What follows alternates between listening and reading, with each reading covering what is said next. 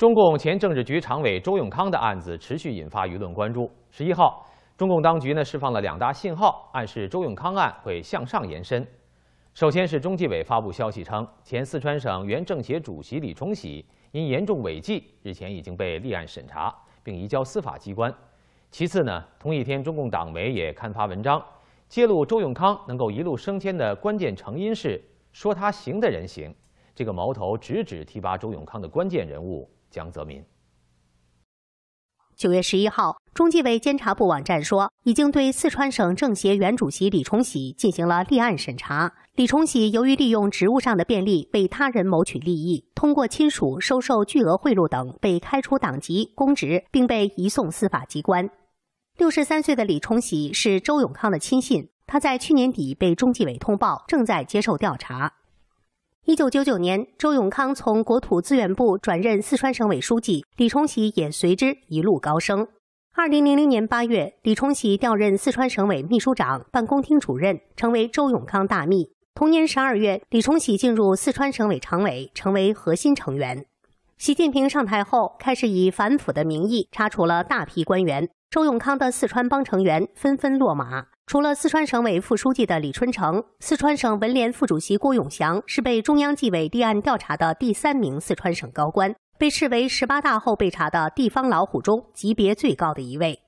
周永康这个人呢，他做事呢是无法无天啊，他在用人方面也是这样，运用了一些人呢，我们看好多人都是一些有问题的腐败分子，但是呢，他们因为靠上周永康。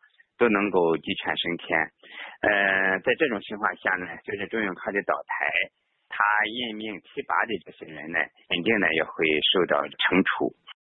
早在二零一二年的王立军事件后，海外媒体就开始大量报道周永康涉嫌的罪行，包括与前重庆市委书记薄熙来合谋企图政变、暗杀习近平、抢夺政权、活摘法轮功学员器官、贩卖尸体、制造车祸、谋杀前妻、贪污上千亿人民币。收钱帮罪犯脱罪、释放被判死刑的黑帮头目等等。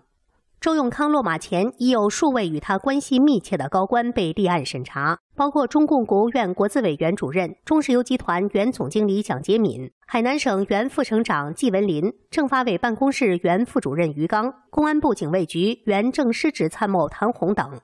李崇禧被立案审查的同一天，党媒《人民日报》主管的《人民论坛》杂志发表题为《官场人际关系与政治生态》的文章，总结周永康案的教训。文中强调，周永康案形成的重要原因之一是特殊的官员选拔任用体制造成的。一个人能不能得到提拔，关键要三行：一是你得行，二是有人说你行，三是说你行的人行。文章认为，最后一行最关键。这里呢，暗示江泽民在应用周永康这个问题上是应该承担责任的。周永康就是江泽民一手提拔起来的，江泽民是周永康的最大的一个后台。江泽民呢，提拔周永康这个方面也是引人为亲，也是不讲原则的。嗯，严格的说呢，江泽民应该承担这个应用周永康这种人的责任。七月二十九号，周永康被公布立案审查后。当天，人民网发表评论文章说：“打掉大老虎周永康不是反腐句号。”之后，在八月一号，新华网再次发表评论说：“周永康的落马为节点，绝不是句号。”再次暗示将彻查周永康的背后人物江泽民。中国资深法学专家赵远明表示：“自十八大以来，习李以反腐为名打掉的基本都是江派人物。”习近平在短时间内陆续拿下了江派大员徐才厚和周永康，接下来的动作很可能会越来越快。可以预示到，最终的大老虎呢，就是江泽民。而且江泽民呢，离他被处理、被逮捕、被法办，我觉得日期呢，已经是越来越近了。处理江泽民呢，肯定跑不掉曾庆红。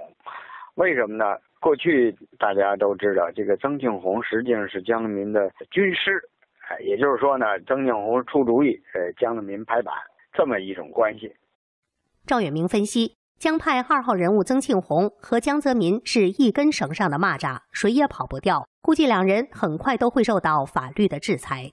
七月份就有传言说，曾庆红已经被控制，儿子曾伟也被软禁。八月二十五号，中纪委书记王岐山与政协常委会晤时，回应常委提问，在周永康之后是否有更大老虎时，回答说。以后你就慢慢懂。